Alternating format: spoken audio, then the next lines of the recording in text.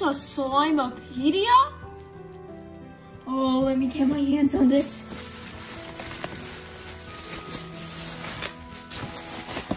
The Slimepedia. And it comes with another book. Huh. Oh my gosh.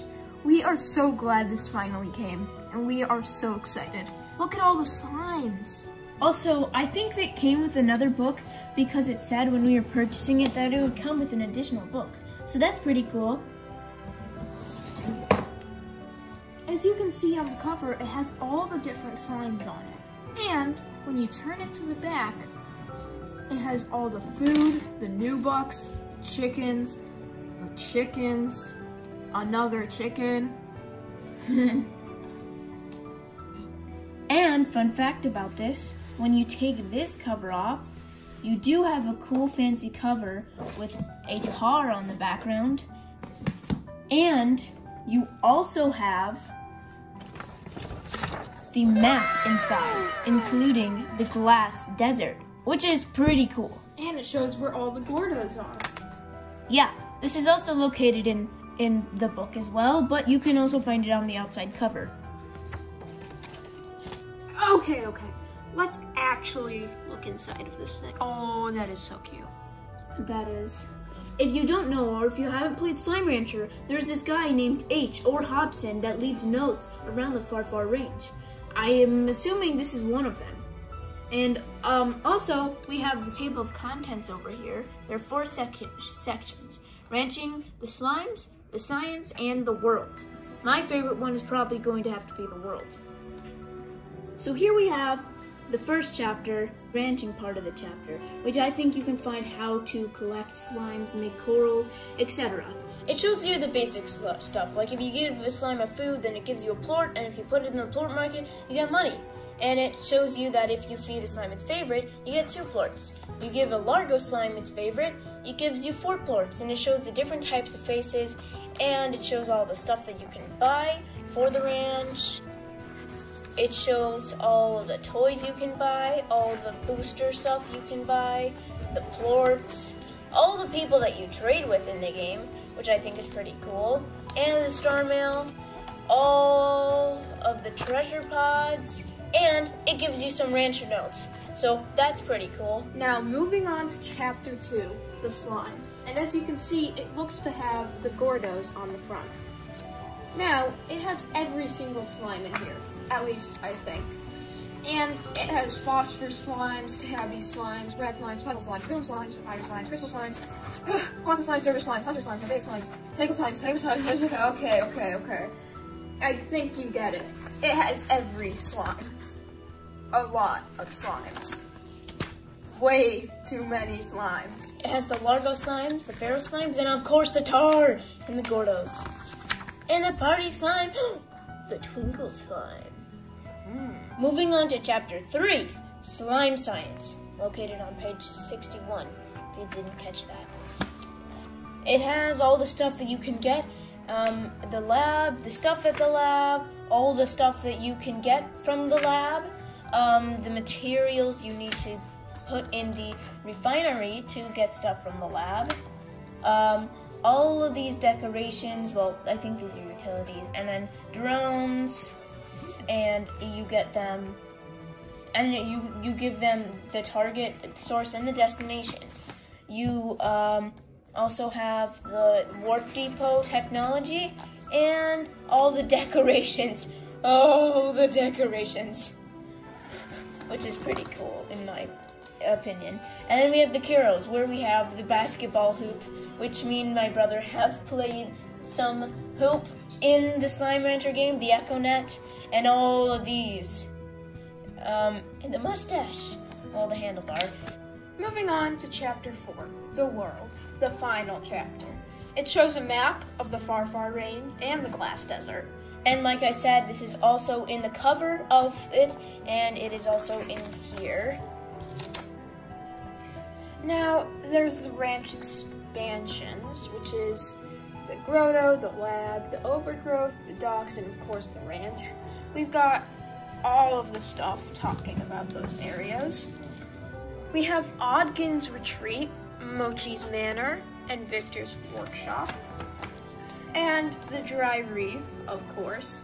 It shows all the slimes that appear in the Dry Reef, especially those gold and lucky slimes. Shows all the food and the Gordos and the resources. The Indigo Quarry.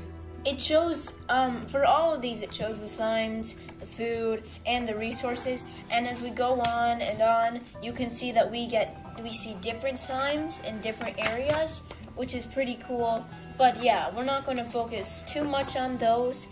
But the one I really like is the um, Glass Desert, because you find a lot of slime there. And then, obviously, you know, you go to the Wilds, Mochi Miles place, and that. And then, H left us a little note on area notes. Good luck to ya, H. And that is it. That's the whole book. Now we are going to go back and show stuff that we really want to go over and really want to show you guys. Um, this link again will be in the description to find this. Um, so yeah. Now let's go back to the book and find some more um, really cool parts of this. Now, chapter one does just focus on the basics. However, I love the little slime drawings they have. They also have a very cool thing, which is the game modes that you could go through. Adventure mode, casual mode, nice and easy, rush mode.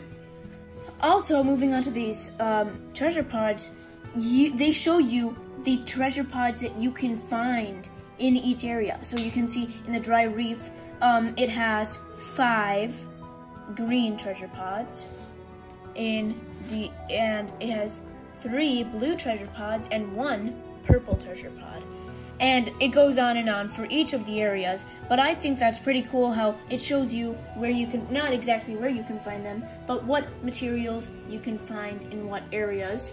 And it shows the rankings of the pods the green treasure pod, blue treasure pod, and the purple treasure pod. The purple one has the highest rank.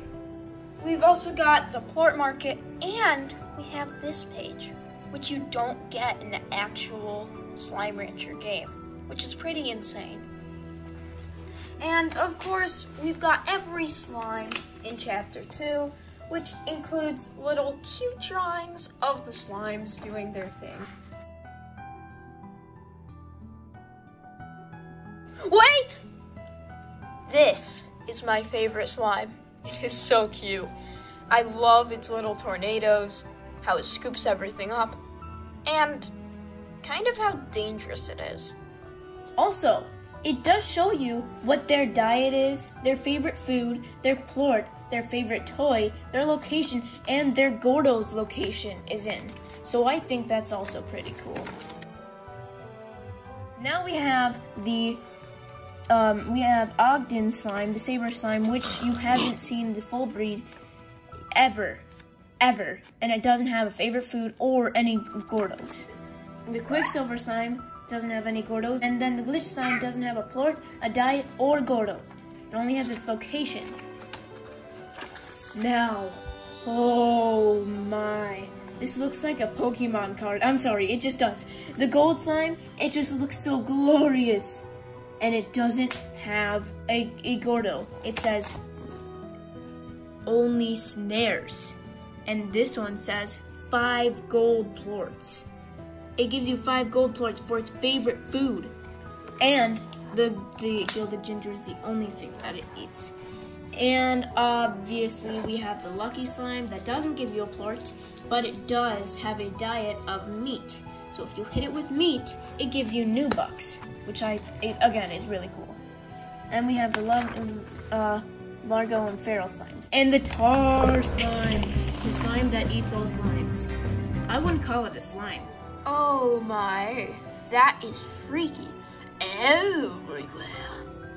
And it has its diet has Beatrix on its diet. Slime, slimes, meat, and ranchers. Oh lord. I better stay away from them. And obviously the Gordo slimes. If you don't know what Gordo slimes are, they are sort of king slimes of certain slimes. And they, if you pop them, then they give you little, I think they give you little, littler of those slimes and sometimes give you slime keys.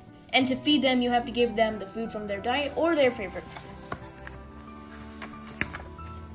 And the Twinkle Slime.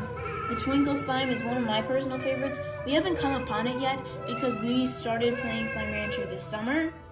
And it also has the Party Gordo, but I'm really excited to see what the pink, the Twinkle Slime actually looks like in real life. Of course, we've got chapter three, which is just slime science.